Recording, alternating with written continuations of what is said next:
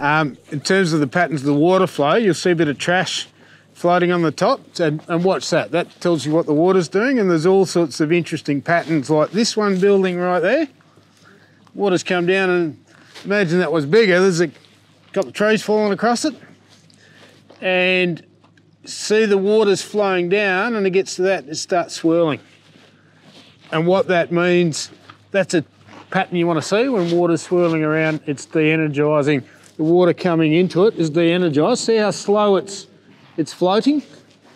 Um, and when we build structures back into watercourses where we've got active erosion or something, they're the types of patterns that we're trying to create. Um, and because that water's really slow, if we had a lot of water full of sediment, if we dropped a bit of clay in there, it'd come down, it'd be carried down and it'd drop there. There's a bit of a pool, there's a step, pool forms behind it, and sediment drops in that pool. Um, and the interesting bit to watch, there's another one over there. That's a really good one there. Yep. So we're trying to create those patterns uh, to de-energise water. And the other bit is the litter comes down. You watch the litter comes down, it'll start to get trapped. It's been trapped in exactly the point that it needs to be trapped. This is a critical bit. So that slider put up on that track that was washing down, litter had come down and been trapped and formed a, a, um, a bit of a, a, a check bank in the spot was needed, and the check bank above it was formed right at the back of the pond as Lance was showing, so it ponded back to the next one. Mother Nature will do it every time. What she needs is water and trash. If you burn your country, you don't have it. That's one of the biggest reasons that fire is decimating our landscape. we we've removed the building materials that Mother Nature needs. And they will start lining up in contours across that. So where that's missing and when it's been degraded, that's what we've done out. We've rebuilt that contour. You can see this section here where there's no material on the ground, it's actually rushing through quite quickly to here where there's another little step and it's hopefully going to build up its own little thing there. So at the moment there's a little gap there, swirling around, that will clog up soon. Fingers crossed. That uh, will. Just needs a little bit more litter. Yeah. And this is where we come in. We just provide a little bit of organic matter and stuff to block it up. The D1. Oh, so if you haven't burnt and there's enough of that litter, there it goes. Happens every time. And it happens exactly where it needs to be and what Lance and I um, and Cole do is we spend a lot of time out in country studying that. So even when it's not flowing, you can go back and look at it and say, where's, where's the sandbone deposits? Where's the litter? and you can start to learn the patterns. And all we do, uh, we're trying to replicate those and rebuild those patterns quicker. And sometimes it might not be actually in the creek that you're looking, it might be just to the side where if it's broken through, it's obviously not going to be in that creek, but just to the side there might be a build-up of darker soil, organic matter, that just shows that that's where that natural step was. So do we want to put an erosion creek in? Yeah, I guess we can. All right, so you had a big flood event it's all been burned off. And you've got an erosion creek flooded back there. So that's, that's what erosion does. Admittedly, that was a little bit quicker than it normally happens, but, but that'll but, happen. But you can see that that'll, it, in terms of the time scales, it happens very quickly, naturally, if, if you start something like that. And what has happened as soon as that erosion creek cut up, water stopped flowing out there. We've dehydrated all of that. As this gets deeper and deeper, that gets dehydrated. So you used to have good grasslands that wide, and the erosion creek will that. This one's still working. It's come back to life, which is good. Probably because we didn't go up high enough.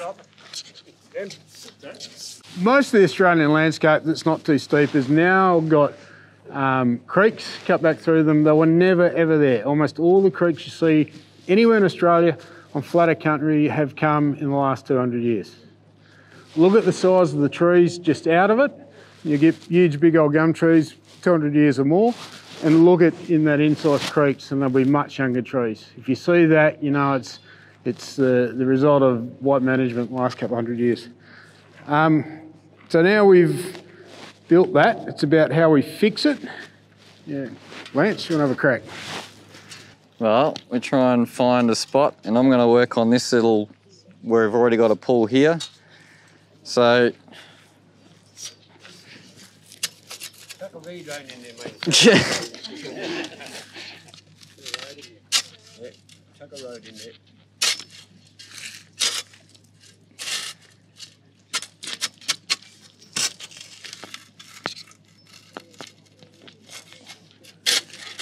So we're just going to put a contour in. Hopefully on the contour. I'm going to take a bit of grass out here unfortunately, but we try and avoid that if we can. What we might do is we'll just spill it there, I think. I think. The, the bit to notice back here is that whirlpool. If so, if that water flows in layers um, and air flows in layers, it doesn't matter what the top layer is doing. It only matters what the bottom one. So if that pattern is we get it right and that pattern is stable, we can put a meter over it and that won't shift. Literally, and we've built them on beach sand and had water flow over the top. When we get the pattern, that swirling, those swirls on the bottom are stable when a whole pile of water comes over. So you go back, think of all the beach sand or watch way, or you know, it's white, gutless West Midland sand, um, and it's there if we get the design right. I haven't got quite got the contour right there. I've gone downhill a bit, but so you can see now that the water's actually stored in there. It's probably going to spill out here a bit quicker, but I thought you were doing that for demonstration. no, I, I, I, I, I just got a bit downhill, but When our, when our laser doesn't work, yeah, bit out. yeah, my head laser's not quite working, but anyway, it, actually it's not too bad. That's come out the other side. Yeah, oh yeah, no, it's good. But you see, normally you wouldn't disturb it, but you try and keep that nice and wide. But you can see how we've actually spread the water already. I've even got another on a bit of slope again, but yeah, the level helps.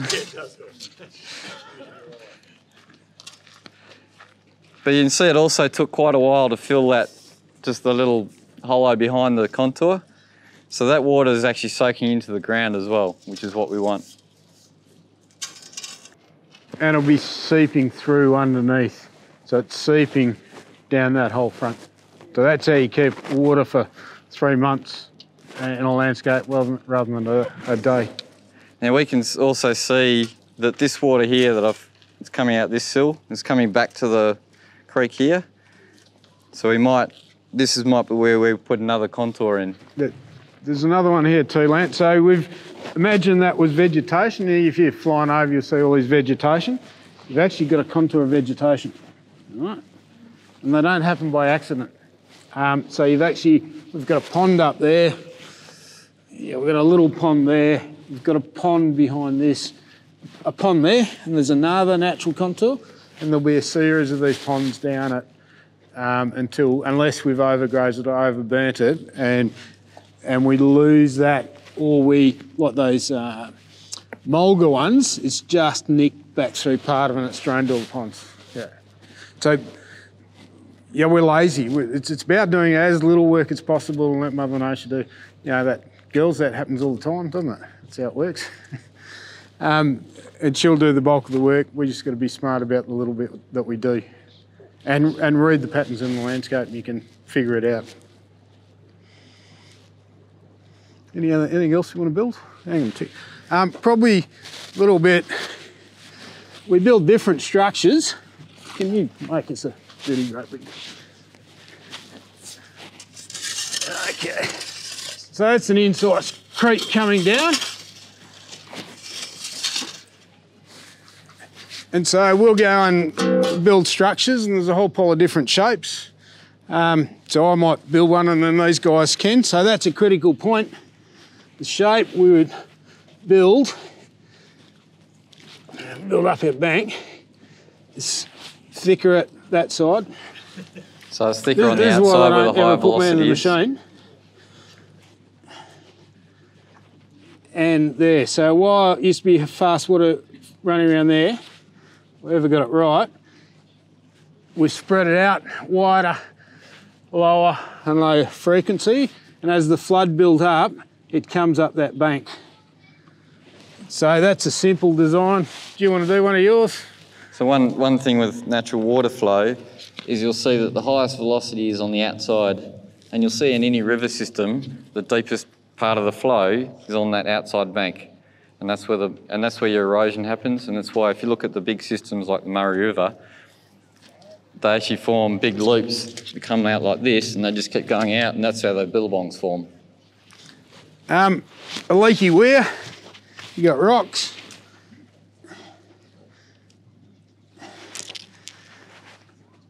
And the pattern is a horseshoe shape into the water.